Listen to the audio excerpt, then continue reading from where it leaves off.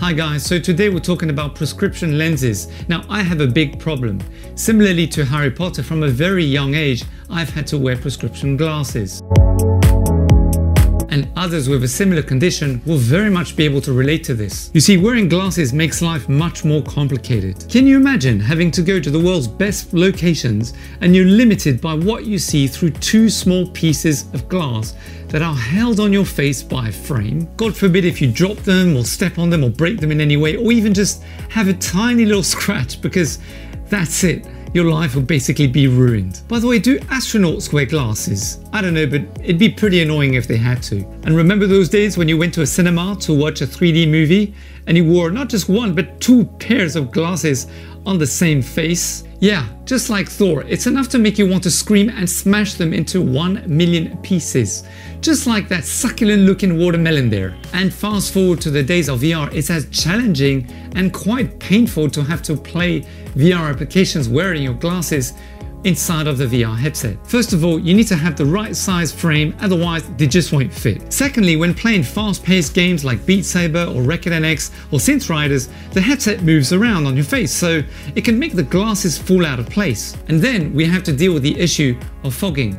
So in the long story short, having glasses just really sucks. So you might be asking yourself, well, why don't you just wear contact lenses? What's all the fuss about? Wearing contact lenses is highly not recommended. First of all, inside of the headset, it can get pretty hot, which means that the eye will get pretty dry. And then if you get to sweat and it goes onto your eye, well, basically you could have an eye infection. So those are just some of the reasons as to why we shouldn't be wearing contact lenses inside of VR. So I was struggling to find a solution and you know, it was getting really too much for me. So when the guys from VR Wave contacted me, said, hey, we'll send you a pair to try out, I was actually pretty excited. So a couple weeks later I received this tiny little box of all the items neatly wrapped up inside of a little pouch. I was really excited, really eager to just put them inside of my VR headset.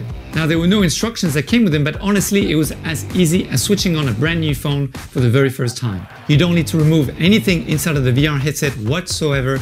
All you need to do is take the frames, place them inside on top of the rings of the lenses until you hear a click sound. Now you'll notice there are little magnetic rings around the frame, so all you have to do is take the lenses part and then place them so that they match, and that's it you just put the VR headset on and off you go. But honestly, I was still a little bit skeptical, wondering whether, you know, when you're playing games like Audica or Audio Trip or OhShape, when you're moving your body a lot quite fast, whether the frames were going to stay in place, or also when you're removing your headset, whether things were just going to fall out and basically break on the floor and then you would be back to square one again. I can honestly say that after having been in VR for almost a couple years, it really was the first time for me as a VR user to have a truly 100% immersive experience. I was simply wowed by this product. When I put the headset on and I didn't have to feel the frame around the side of my head was just amazing. I felt at one with the VR headset. And as I was playing all the various different VR apps, especially Racket NX, which requires you to move quite a lot in a 360 degree Nothing moved, everything stayed in place. I took off and put on my headset dozens of times since I've received the product until the day that I made this video and I can honestly say I've never had a problem whatsoever at any time.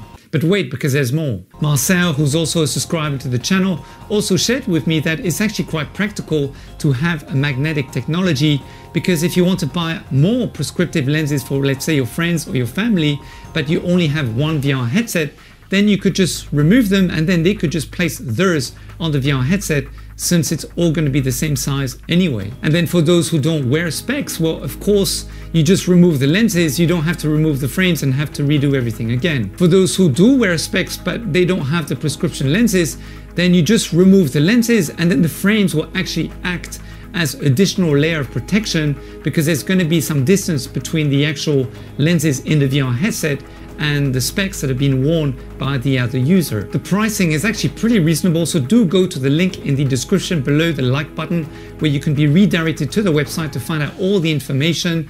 There is a special 5% discount that you can get when using the promo code VR Essentials. The customer service is top notch. Every time I wrote to them, they replied to me within 48 hours, so I was pretty impressed by that. They have prescription lenses available for all the different Facebook VR headsets and also the Valve Index, and very soon they will also have some for the HP Reverb G2. So do subscribe to the channel and stay tuned. Switch on your notification bell so that you get notified when I upload the video reviewing their products again using the HP Reverb G2. Honestly, if you wear prescription lenses, just do yourself a huge favor, go and check them out right away.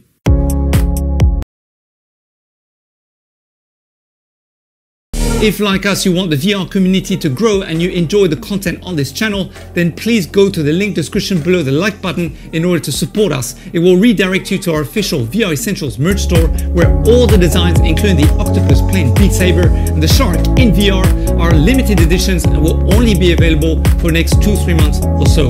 There really is something for everyone, so avoid disappointment, act right away.